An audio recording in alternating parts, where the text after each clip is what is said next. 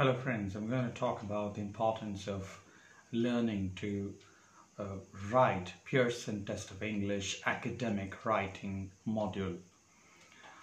How do we work on Pearson Test of English academic writing module? First step that you can take in this direction is to work on various themes or topics available. How do you uh, get to know about themes and topics? Uh, you should uh, look at question banks available, the official uh, preparation guide of Pearson Test of English Academic is the best book to bet on. So I would suggest those who uh, get themselves trained to appear for the Pearson Test of English Academic to work on it very hard. How do they get to know about it? You can get to know about the list of topics by going to freetestpapers.com or go to uh, Pearson website, pearsonvue.com, and check exactly uh, the kind of questions being uh, put up there for those who are going to appear for the examination. Make a list of at least say 200 or 300 topics and uh, have a mind map on each of those topics. What is a mind map? For example, you have a question which asks you to talk about the the importance of eliminating nuclear weapons for establishing world peace.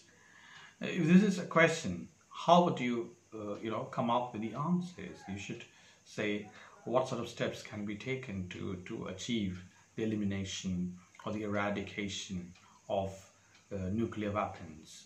How can countries come together to eliminate these nuclear weapons?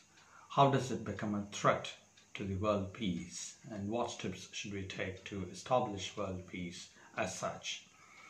So create a list of ideas, or rather a link of ideas, one after the other, and ensure that you develop a, a cohesive blueprint of the essay that has to be part of your thesis statement.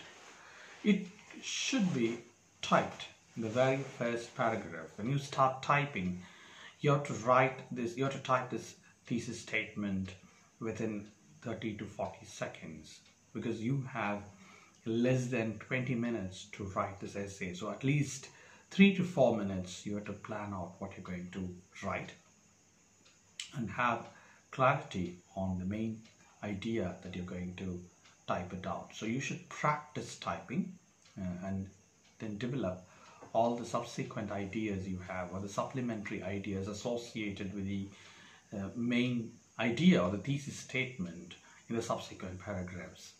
Every idea should have a logical reason to support with.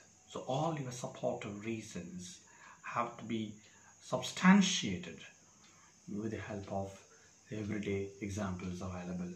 These examples could be based on all that you have read or all that you have come to know. Sometimes it could be something that you have speculated or imagined all about.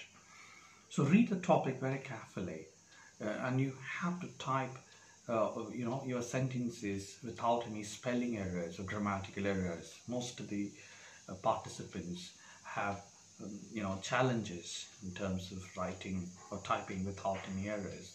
So um, you you keep track on your writing.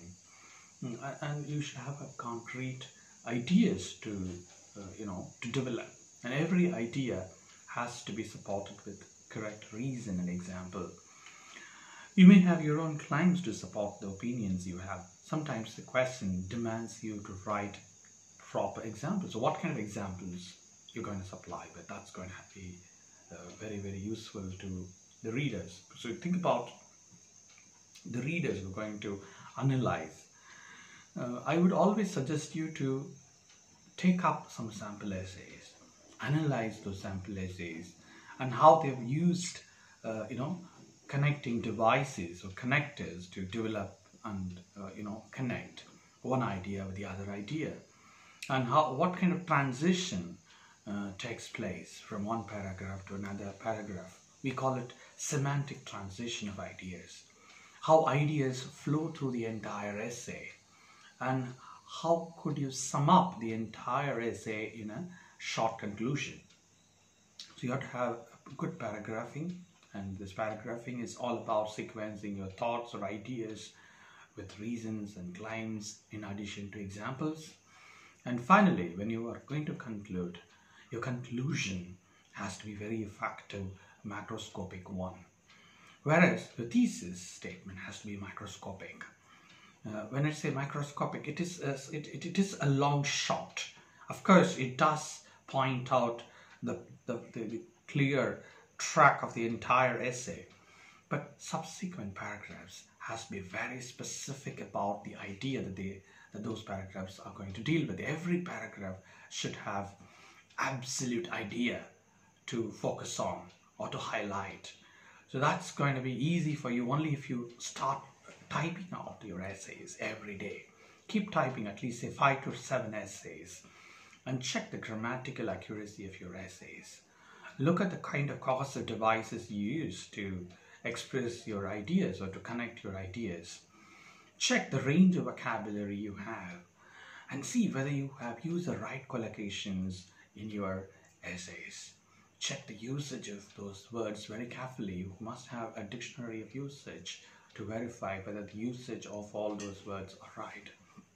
If you're going to use, um, you know, a, a good dictionary like Oxford Advanced Learners Dictionary or Cambridge Advanced Learners Dictionary or Merriam-Webster's dictionary would these any of these any one of these dictionaries would help you to uh, write uh, with correct usage. I, I wish I've already um, you know explained things in, uh, in, in sequence. And if you have any questions related to this you're free to ask me call me up or uh, you know mail me. I'm there to support you. Wish you all success. Hope this video would help you to write extremely well in the Pearson test of English academic. Good luck to you